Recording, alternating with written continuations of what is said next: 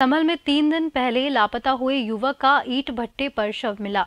शव मिलने की सूचना से हड़कम मच गया। परिजनों ने हत्यारों की गिरफ्तारी को लेकर हंगामा किया। परिजनों का कहना है कि हत्या कर शव को ईट भट्टे पर फेंक दिया गया है। सूचना पर पहुँची पुलिस ने मृतक के शव को कब्जे में लेकर पोस्टमार्टम के लिए भेज दिया और जाँच पड़ताल में जुट गई।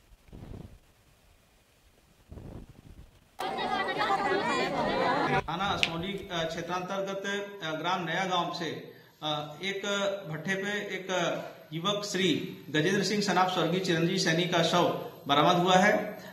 इस संदर्भ में विगत दो दिसंबर को उनकी गुमशुदगी थाने पर लिखी गई थी, जिनकी जाँच जारी थी। इस संदर्भ में शीघ्र ही तदनुसार एफआईआर पंजीकृत किया जा रहा है। तत्पश्चात सात